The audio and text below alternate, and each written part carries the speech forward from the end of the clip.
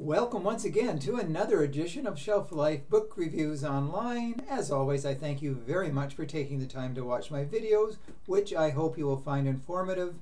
And when you go to your local bookstore to select books, that these books are ones you will very seriously consider.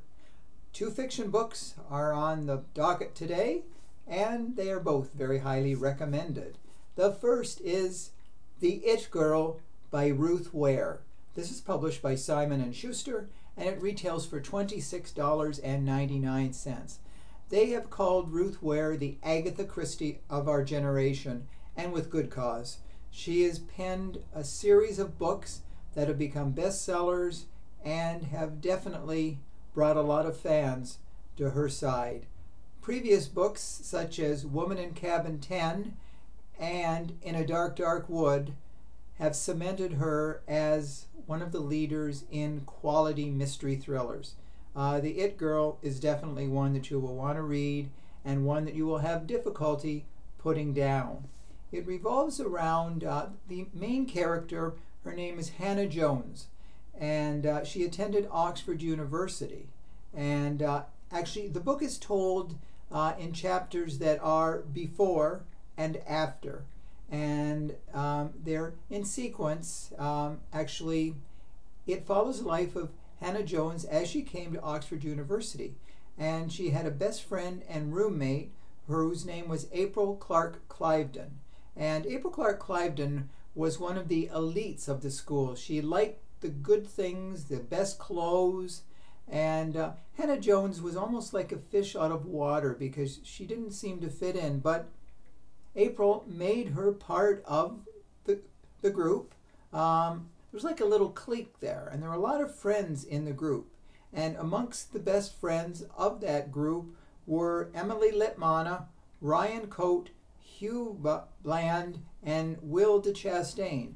And they were all like a little group, and everything seemed to be all hunky dory until April was murdered. She was savagely killed. And um, there was a person who was charged and convicted of the crime. He was a porter in the building, and um, his name was John Neville. And uh, he went to jail. He always said he did not kill her. Uh, Hannah saw him leaving her room the night that she was found dead. So obviously, police and everyone put two and two together and figured he was her killer. Well, John Neville died in prison. And after the death, a reporter came forth and said he didn't do it. He was not the killer. Someone else killed that girl. And so, um, as I said, it alternates between before, which was 10 years ago, just before she was killed, and 10 years after the fact. And um, Hannah starts reflecting on the murder she is now married to Will de Chastain, um, who she met 10 years ago at Oxford University.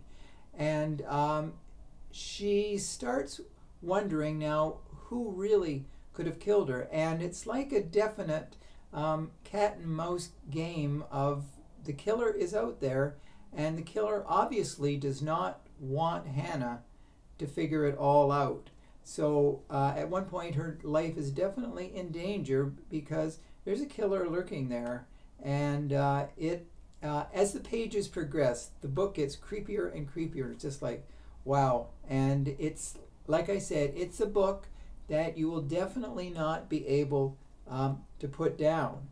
Um, it's um, the characters are either dark or they're good characters. Um, I won't, of course, I'm not going to say who the killer was, but you'll start going through the suspects and you'll start seeing the reason for why they killed April 10 years ago. So if you're looking for the It thriller of the year, The It Girl is definitely a book that you should add to your collection. And the second book of note, this time out, is Vanished by Lynda La Plante. This is published by Zaffre and it retails for $38.99. The cover says it all. Killers just don't don't just disappear. And uh, it's that type of thriller. Um, Lynda La Plante is known for her quality works, just as Ruth Ware is. And this book is definitely one where you will be frantically turning pages thinking who who killed this woman now the book centers around avril jenkins who is a widow. She's kind of eccentric. Um, she constantly calls the police because every night she swears she hears people in her house. She swears they're stealing things her artwork her knives linen. It, it's uh, and the police get to the point of like, okay, this is a crazy, eccentric woman. Just, you know, just go, you know, just to calm her down. There's nothing there, nothing to worry about. But there is something to worry about because April Jenkins is found murdered. Not just murdered, she's cut up into little pieces. And uh, so the inspector, DC Jack Warr, and actually, this is book three of the Jack Warr series. I have not read the first two. But um, based on this, I might go back and look for the first two because it's definitely an interesting character. Jack Warr is very complex. It just doesn't show him as a police officer. It shows his family life and how he how he reacts to the family and his job. Now, Avril Jenkins always thought that the person who was breaking into her house was a former lodger there by the name of Adam Border and uh, he just suddenly left. But she thinks he's coming back and taking things from her house. So Jack Warr is on the trail of Adam Border because he seems a potential suspect. But as they investigate the house, they find that there is a major marijuana grow op operation in the house. Now, did the woman know about it? Was it secretive? Or if she found out, is that why she was killed? And as they investigate further in the house down in the basement, there's another secret area with more drugs, more unusual findings, and there's another body. So it's like who is who is responsible? So um, as Jack Warr finds out, he is hot on the trail of Adam Border, and he's it's it's like a worldwide excursion of where's Jack, where's Adam, and so um, his in his boss Simon Ridley, uh, the two often clash. Simon Ridley and Jack Warr, they get along, but there's like a tension between the two of them. They're always questioning. Simon's always questioning Jack's um, abilities. So as we find out, uh, he Jack eventually tracks down Adam Border, and because he thinks he's the killer. Well, the truth is he has a video of the actual death because there were dozens of cameras all through the house. Now, whether Avril Jenkins knew they were there or not, uh, they filmed her murder. It was like a snuff movie. And Adam Border makes a deal with Jack that he will send him, you know, the real killers. He'll let them know if he lets him get away. So uh, it's it's a very interesting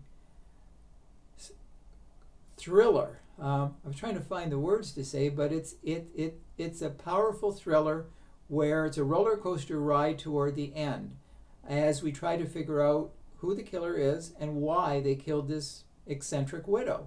So, um, Vanished is a book that hopefully will not vanish from bookshelves without people buying it because it's definitely a classic work by Lynda LaPlante and the second book this week of note.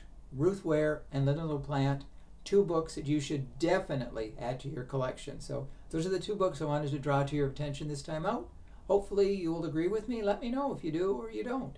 So until we meet again, and we will very soon with two more fiction titles, stay safe, stay sane, stay social distancing, and do stay in touch. Bye for now.